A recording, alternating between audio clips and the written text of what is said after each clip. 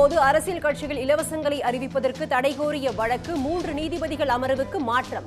இலவசங்கள் தொடர்பான வாக்குறுதி பிரச்சினைகளை ஆராய குழு அமைக்கலாம் என்றும் தலைமை நீதிபதி அறிவுரை.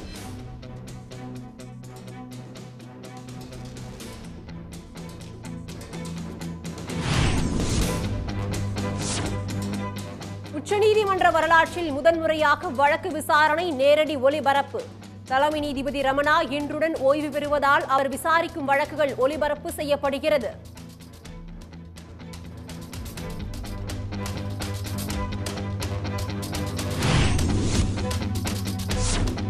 மேற்கு மாவட்டங்களில் முதலமைச்சர் மு க ஸ்டாலின் மூன்றாவது நாளாக சுற்றுப்பயணம்.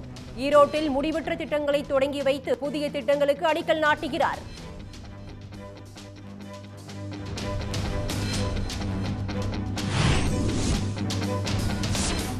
அதிமுக தொண்டர்களை ஓ பன்னீர்செல்வம் விலை பேசி வருவதாக பழனிசாமி தரப்பு குற்றச்சாட்டு. மௌன யுத்தத்தை தொடங்கிய பன்னீர்செல்வம் தற்போதும் விலை பேசும் யுத்தம் நடத்துவதாக ஆர் பி உதயகுமார் விமர்சனம்.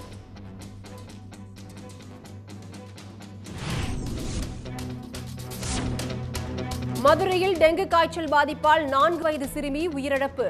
டெங்குவால் பாதிக்கப்பட்ட மேலும் ஐந்து பேருக்கு தீவிர சிகிச்சை.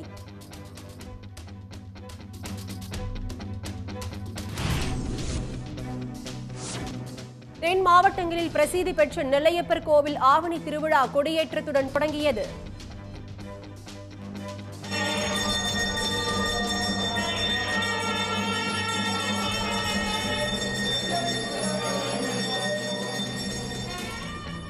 நூற்றுக்கணக்கான பக்தர்கள் பங்கேற்று சுவாமி தரிசனம்.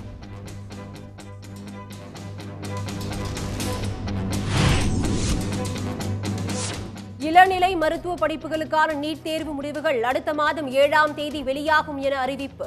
இம்மாத இறுதிக்குள் விடைக்குறிப்புகள் வெளியிடப்படும் என்றும் தேசிய தேர்வு முகமை தகவல். சென்னை விருகம்பாக்கத்தில் ஓய்வு பெற்ற துணை ராணுவ அதிகாரி வீட்டில் எழுபது சவரன் தங்கம் மற்றும் வைர நகைகள் கொள்ளை. சிசிடிவி காட்சிகளை ஆய்வு செய்து கொள்ளையர்களை தேடுகிறது போலீஸ்.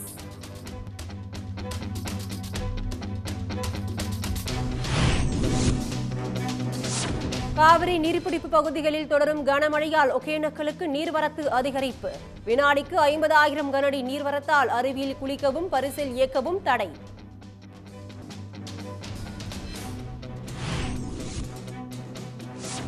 மேட்டூர் அணைக்கான நீர்வரத்து வினாடிக்கு நாற்பதாயிரம் கனடியாக அதிகரிப்பு. அணைக்கு வரும் தண்ணீர் அப்படியே உபரி நீராக வெளியேற்றம்.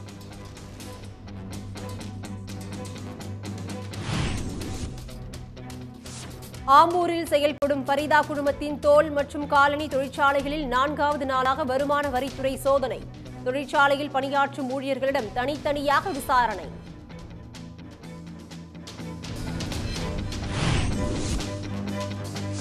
திருச்செந்தூர் முருகன் கோயிலில் ஆவணி திருவிழா தேரோட்டம் கோலாகலம். நூற்றுக்கணக்கான பக்தர்கள் தேரை வடம் பிடித்து இழுத்து சுவாமி தரிசனம்.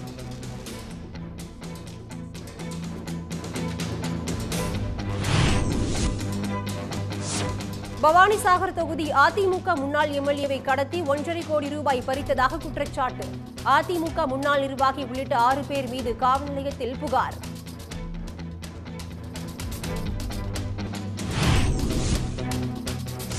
பரபரப்பான அரசியல் சூழல்களுக்கு மத்தியில் டெல்லியில் இன்று சிறப்பு சட்டப்பேரவை கூட்டம்.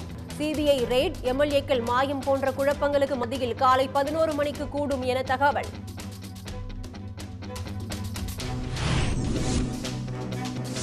பதினாறு ஆண்டுகளுக்கு பின் திருவாரூர் பட்டுக்கோட்டை வழித்தடத்தில் இயக்கப்பட்ட விரைவு ரயில். மேலத்தாளங்களுடன் ரயிலுக்கு மலர் தூவி வரவேற்ற மக்கள்.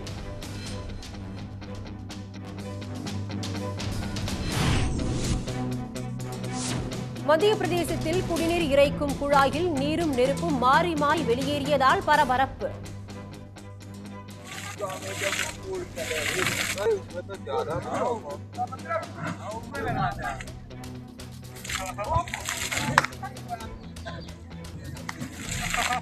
மீத்தேன் வெளியேறியதா என அதிகாரிகள் ஆய்வு. உடனுக்குடன் செய்திகளை தெரிந்து கொள்ள சன் நியூஸ் பில்லைக்கான கிளிக் பண்ணுங்க.